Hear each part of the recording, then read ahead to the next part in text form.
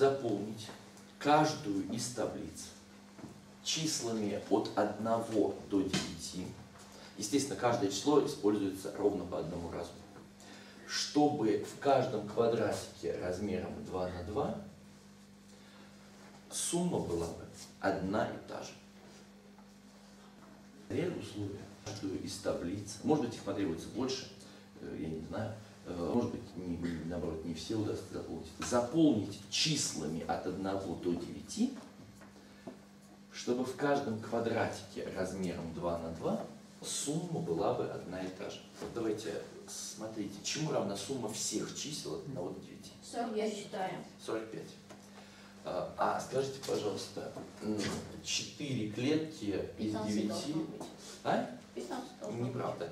4 клетки, вот смотри, 4 девятых от 45 это сколько? То есть 45 разделить на 9, это получится, что в каждой клетке в среднем около 5, правильно? Сколько? 20. 20. Значит, мой вам заказ. Начните, пожалуйста, с того, что сделаете таблицу, в которой сумма в каждом квадратике 2 на 2 будет равна 20. Потом, пожалуйста, 19, потом 21.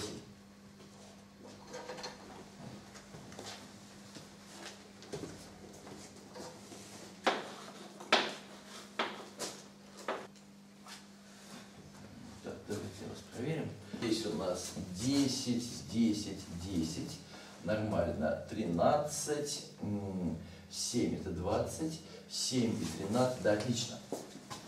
Одну таблицу вы сделали. Спасибо.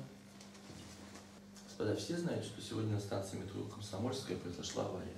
В результате жесткой остановки эскалатора то ли 7, то ли 8 человек пострадало. Вне зависимости от того, что там произошло, надеюсь, все понимают, что метро это действительно сейчас очень опасная штука. И, что называется, э, постепенно опасность будет нарастать. Потому что пассажиропоток возрастает, и метро просто принципиально уже перестает справляться. Давайте я объясню ситуацию с точки зрения математика. У нас очень часто думают, что, например, у вас э, сидят кассиры в большом магазине. Ну, наверное, каждый из вас такую ситуацию видел, да? Э, Десяток, а иногда бывает там и три десятка касс, и э, кассиры, и люди, люди, люди подходят. Да. По какому принципу у нас управляющие действуют? Как только они видят, что у какого-то кассира нет никого, то, чтобы не платить соответствующему человеку зарплату, его просто снимают, и, соответственно, становится сразу меньше кассиров. Понятно? То есть они стараются, чтобы поток покупателей в точности соответствовал бы пропускным способностям касс, чтобы кассы были всегда загружены. А оказывается, в математике есть замечательная теорема. Если мощности по обслуживанию в точности достаточно для того, чтобы обслужить, то в среднем будет бесконечная очередь. Ровно это мы с вами в жизни чаще всего встречаем. То есть, когда пытаются сеть сделать ровно то- такой мощности, какая нужна, э, то это всегда приводит к э, чудовищным очередям. Когда я был на международной олимпиаде, это 1982 год, в Венгрии, мы проехали от Будапешта до озера Балатон и обратно. Так вот, представьте себе, я, привыкший к э, давке, ну, собственно, тогда она была ничуть не меньше, к сожалению, чем сейчас, хожу в венгерскую, ну, то, что называется у них электричка, ну, и у нас точнее, э, венгерский поезд. И вдруг, там, где я ожидал увидеть э, 50, а может быть и 100 человек, я вижу, что у нас на вагон примерно 10 человек. У нас у всех был шок от того, что, оказывается, можно идти по вагону поезда и выбирать, в какое из купе зайти сесть. Мы спросили, это у вас так всегда? И вообще, как так можно не экономно? И они мне объяснили. А у них на железной дороге всегда так. Они просто понимают, что сделать вагон и гонять его, хоть вы сделали три вагона, послали, хоть вы сделали 10 вагонов, с точки зрения затрат энергии это практически одно и то же. И в результате они просто построили себе железные дороги большей пропускной способности, и э, люди нормально ездят. Заметьте, это не вопрос экономии денег или чего-то. Просто там было много-много-много лет назад принято решение, что люди должны ездить по принципу всегда есть свободные места, а в нашей стране решение, что крайне важно, чтобы принципиально ни одного свободного места не было. Вот я живу в метро Владыкина, каждый день я наблюдаю там замечательную ситуацию. Едет поезд и объявляется, уважаемые пассажиры, поезд дальше не идет. Люди выходят, хотя поезд был, между прочим, почти что заполнен. Подходит следующий поезд, эти люди туда заходят по принципу, надо вместиться там, понятно, да? Где-то между, между, между. Вопрос почему? А потому что инженеры э, в метро считают, вернее не инженеры, а менеджеры, считают, что как же это будет несколько квадратных метров свободной площади. Понимаете? Это же, это же, это же потратится 3 копейки. То, что из-за того, что люди мнут друг друга, на самом деле они потратят гораздо больше, никого не волнует. То, что рано или поздно отсутствие свободных мощностей приводит к техническим катастрофам, тоже никого не волнует. Это разница подходов. Это не вопрос экономии, экономии. это просто разница подходов в отношениях.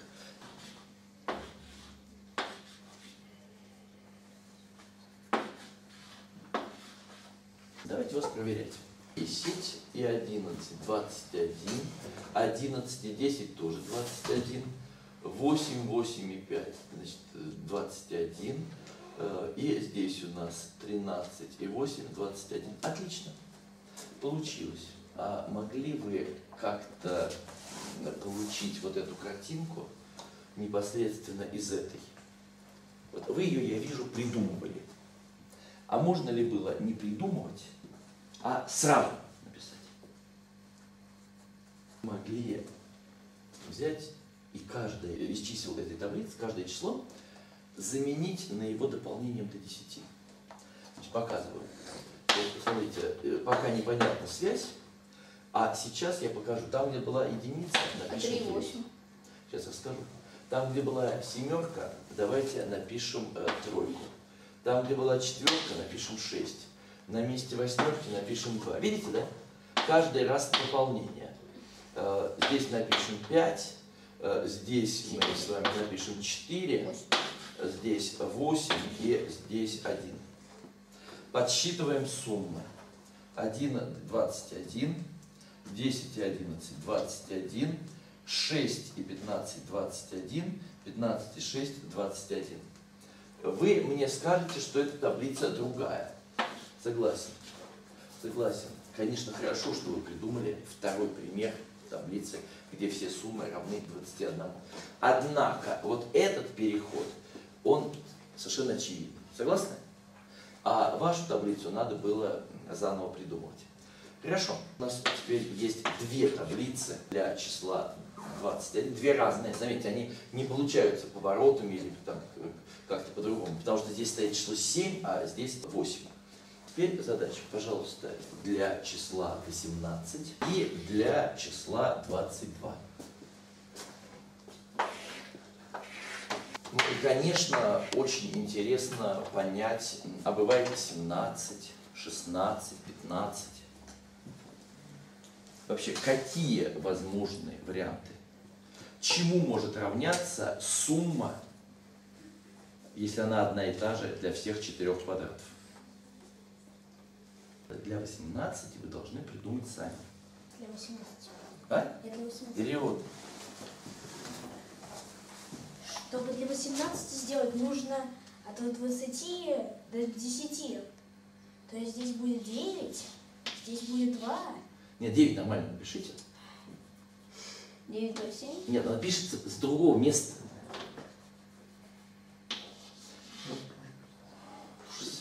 Это будет 20. Да, там будет 20. Там 20. Давайте, давайте, давайте, пишем. Сейчас все равно 20. Уже 20. Это вы делаете дополнение, да? Пишите, пишите. Три. А, Ну. Дело в том, что 40 минус 20 это 20. То есть, смотрите, уже видно. Уже видно. 40 э, минус 20 это 20. Поэтому на 20 оно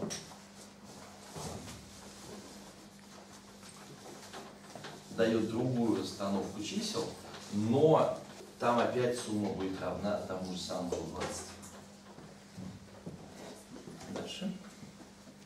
Между прочим, я тут побывал на отчетном концерте.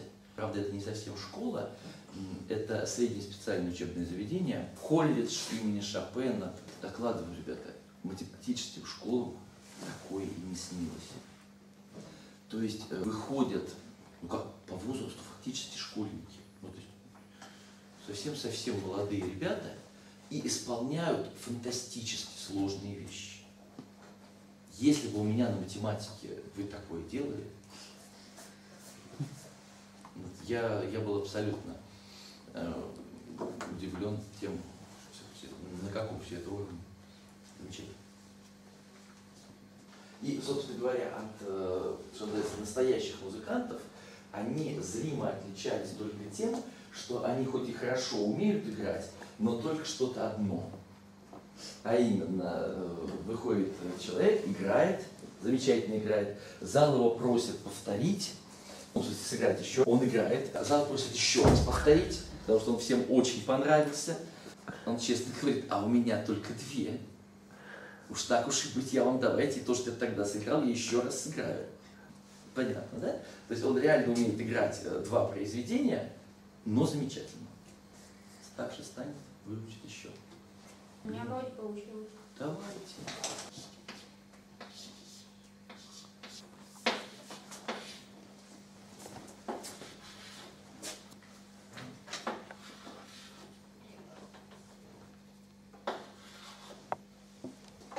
Так, спасибо. А, Давайте проверять. А, 7 плюс 2 это у нас 9 и 9. 6 э, и 12 это тоже. 9 и 9 замечательно. 12 и 6 тоже хорошо. Так, теперь бодро сделаем для 22. Семерку дополняем, пол- получается тройка. Двойку дополняем, получается 8. Дальше 6, 4. 4, 7, 1. 1, 2, 9, 5. Отлично. А теперь вопрос. А бывает 17, ну или, соответственно, 23? Или 16, или 15? Ответ очень простой. Смотрите, если у нас есть таблица, то понятно, что там где-то включается число 9. Согласны? Ну, я не знаю где, э, ну, например, здесь. Так вот, какие самые маленькие числа могут быть еще в этом квадрате? 1, 2 и 3. Чему равна их сумма? 15. 15. Совершенно верно. Значит, меньше 15 в принципе не бывает.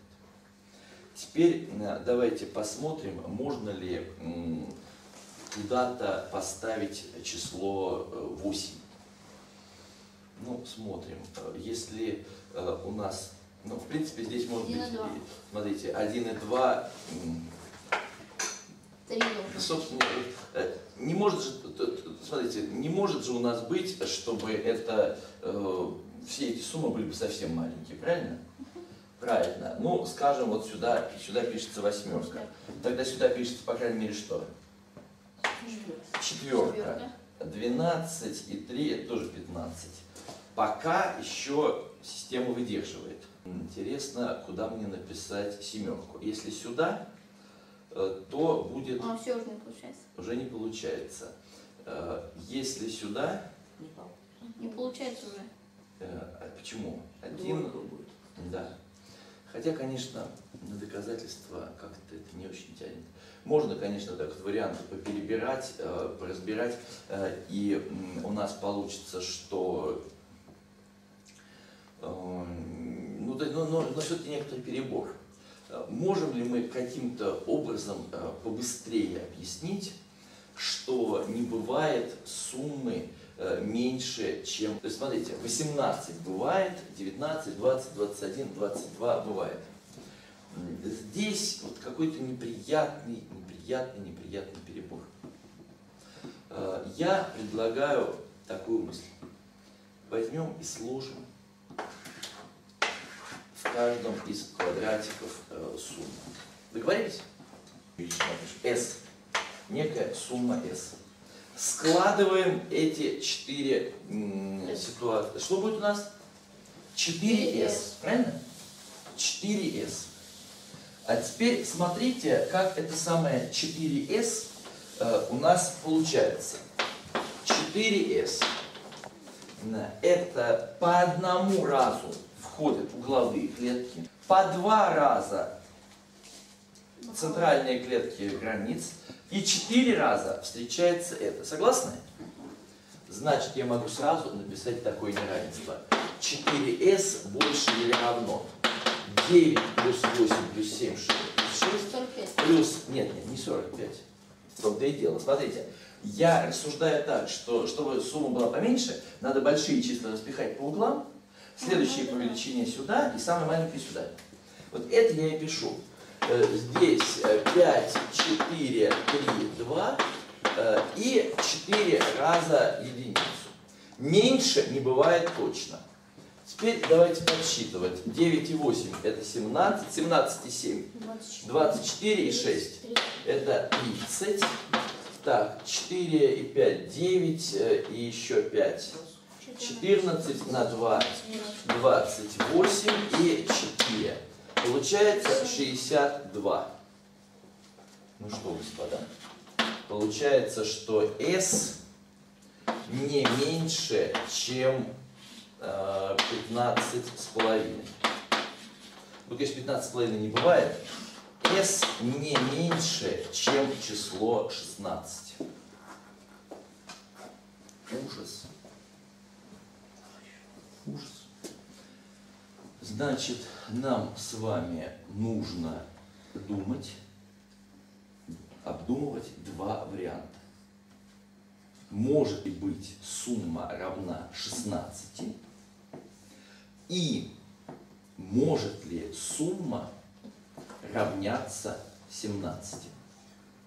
Заметьте, пожалуйста, что называется, сразу надо в центр писать маленькое число.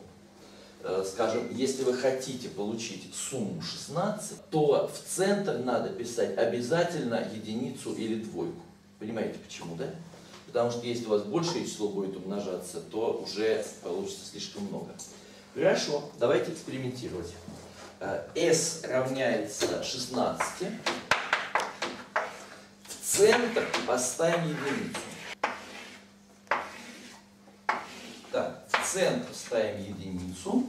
э, И сюда пишем 1. Так, 10, э, скажем так, сюда 2, сюда 4.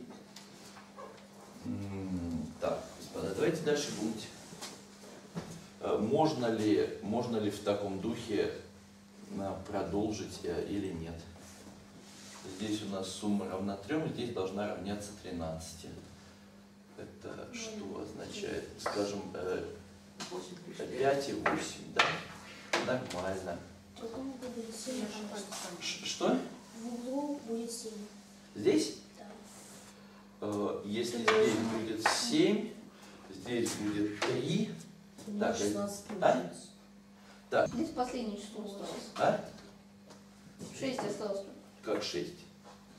Ну, 6 может и осталось, только сумма будет равна 14. Ну, У на нас 7. почти получилось. 6 и 7 У меня переставить. получилось 16.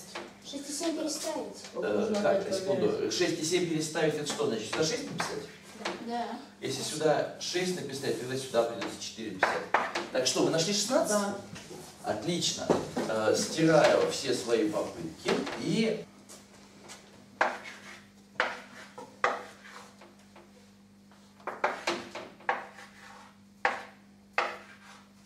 Ой, это не то. 16. Стойте, не то. Я стою. Нажимайте посильнее. А 8 уже было. 8 уже было. Там 14 уже. Сейчас, еще раз побежу. Сядьте сначала. Я Сядьте. Потому что надо стереть все аккуратно. Просто я не очень доверяю, что вы сможете стереть с доски. Отлично. Напишите свой вариант.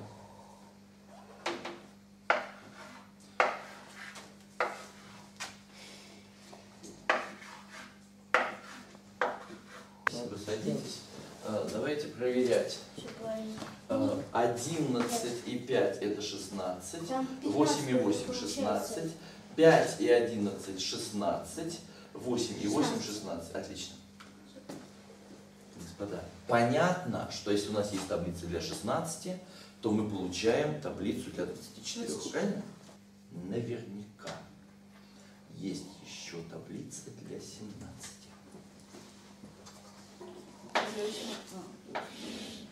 Уверен. Просто уверен. Э, И тогда задача будет полностью нами решена. Согласны? Да. Прошу, ищите.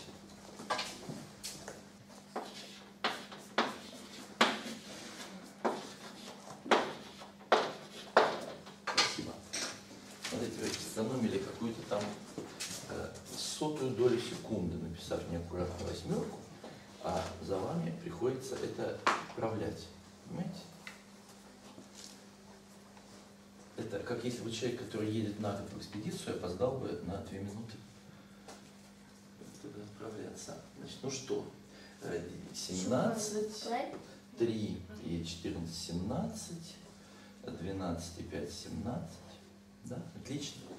Таким образом, возможны все варианты от 16 до 20.